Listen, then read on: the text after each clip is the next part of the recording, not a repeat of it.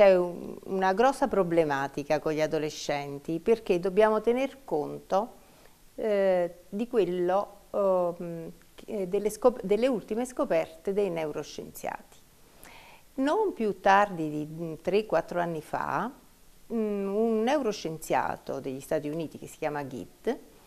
facendo degli studi sulla corteccia cerebrale, eh, scoprì che eh, la corteccia prefrontale termina il suo accrescimento intorno ai 25 anni di età. E ha fatto risalire il turmoil, cioè il tumulto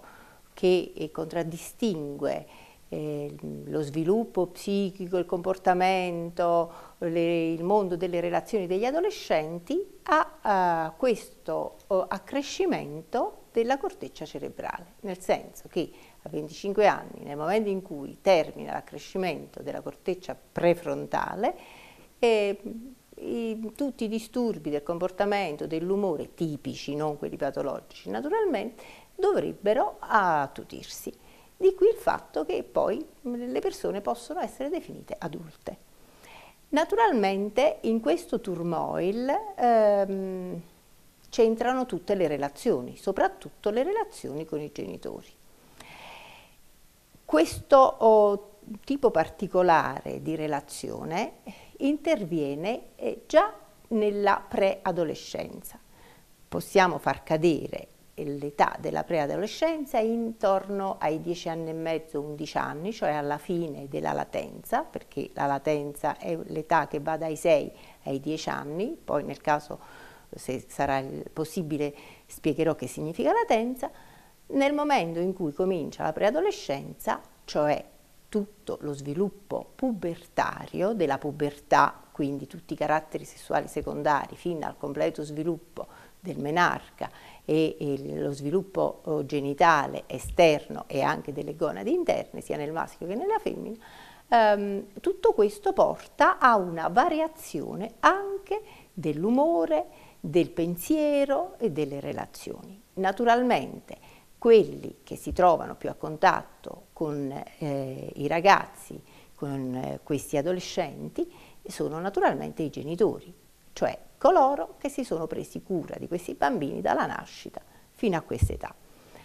Naturalmente questa, um, questa modulazione sia degli ormoni sia dello sviluppo somatico um, incide moltissimo sullo sviluppo psicologico, tanto che il ragazzo e la ragazza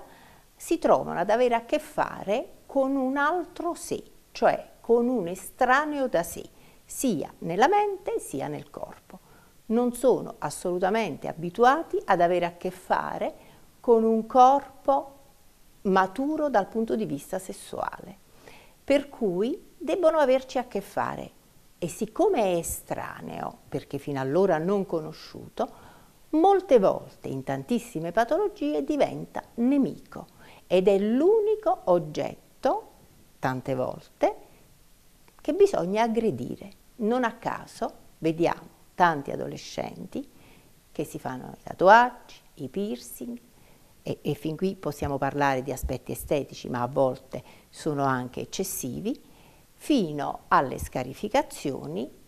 ai disturbi del comportamento alimentare perché si vedono troppo grassi o troppo magri, fino a proprio, veri e propri comportamenti a rischio a rischio che eh, rasentano appunto il tentato suicidio quando poi non sono dei suicidi veri e propri. Eh, e questo è eh, molto frequente in adolescenza proprio per le trasformazioni del corpo. Le trasformazioni del corpo, che abbiamo attraversato tutti, perché tutta l'umanità la attraversa, ehm, tanto possono non eh, essere ritenuti estranei e nemici quando c'è contemporaneamente uno sviluppo psicologico che riesce, o è anche un ambiente, che riesce a contenere questa variazione, questa estraneità, tanto da poterla significare. Infatti un concetto importantissimo di cui parlano moltissimi autori francesi, tra cui Gutton, Philippe Gutton, è proprio il pubertario Il pubertario è per la mente ciò che è la pubertà per il corpo. Quindi lì dove intervengono cambiamenti somatici, ormonali, delle gonadi, dei genitali esterni e quindi delle gonadi naturalmente, lì poi deve intervenire un cambiamento a livello di pensiero, cioè quel corpo deve arrivare a una rappresentazione interna tanto da potersi pensare con un corpo diverso e familiarizzare con esso. Naturalmente questo sviluppo eh, dell'adolescenza eh, comporta anche uno sviluppo della genitorialità. I genitori nel momento in cui i loro figli diventano adolescenti prendono atto ineluttabilmente che il tempo è passato e quindi ritornano inevitabilmente al vissuto della loro adolescenza e si interrogano e si rapportano con l'adolescenza dei figli. A questo punto i genitori debbono fare il lutto della loro adolescenza, cioè la debbono lasciare per sempre. Naturalmente in, questa, um, in, questa, in questo periodo in cui l'adolescente sta cercando di essere diverso